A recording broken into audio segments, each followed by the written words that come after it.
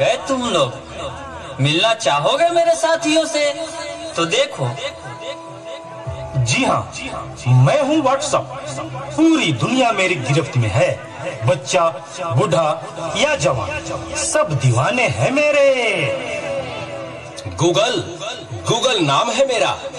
Fake word Instagram हूँ। मैंने सबको पागल करके रखा है स्पेशली उन युवाओं को। उसको उसको और इसको भी। और मुझे तो आप लोग जानते ही होंगे, मैं हूँ फेसबुक मुझसे ही तो ये सोशल मीडिया का दौर शुरू हुआ है।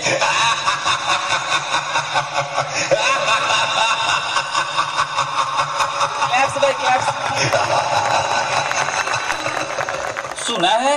वो दिन दूर नहीं। जब आपकी ये दुनिया हमारे इशारों पर नाचेगी तो चलो देखो। मम्मा मम्मा मेरा कल एग्ज़ाम है। मुझे कुछ समझ नहीं आ रहा। है प्लीज़ मम्मा आप पढ़ा दोगे? क्यों बेटा? तुम्हारे टीचर ने कुछ नहीं समझाया क्या? मम्मा मम्मा समझाया तो था पर मैं भूल गई। बेटा मैं तो भी बहुत बिज़ी हूँ। तुम पापा के पास जाकर पूछ लो ना। ओके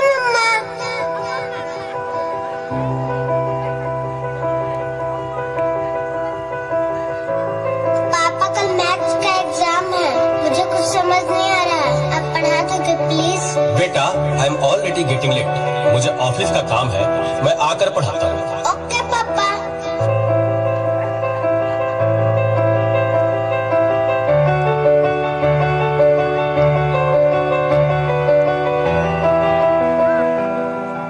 पापा अब तो आप मुझे पढ़ाओगे ना? बेटा मैं बहुत थक गया हूँ और ऑफ़िस का काम भी है। तुम मम्मा के पास चली जाओ।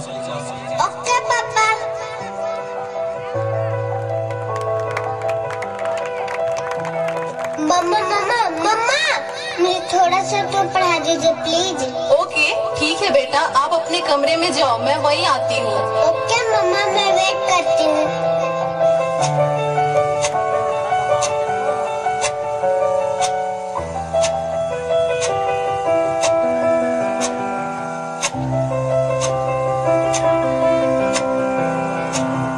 ओ गॉड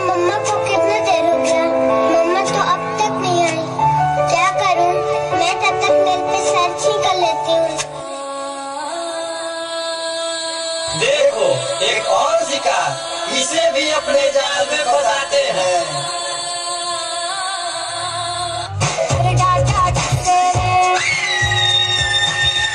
क्या हुआ बेटा क्या हुआ? तुम खड़े खड़े क्या देख रहे हो? डॉक्टर को जल्दी फ़ोन करो। डॉक्टर साहब डॉक्टर साहब जल्दी आइए। पता नहीं मेरी बेटी को क्या हो गया है। एक और शिकार। तुम्हारे पाँच हज़ार फ्रेंड होंगे लेकिन तुम्हारे एक भी फ्रेंड तुम्हें बचा नहीं सकते।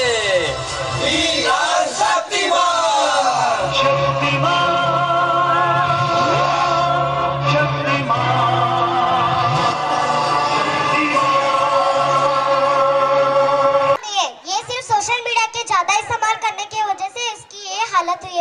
आप अपनी बच्चे को ज़्यादा से ज़्यादा ख्याल रखें और उसका अच्छे सेहत का, अच्छे से अच्छा ख्याल रखें।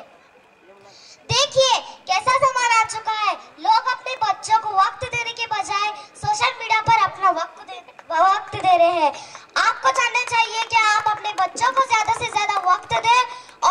अच्छे अच्छे से अच्छा ख्याल रखें।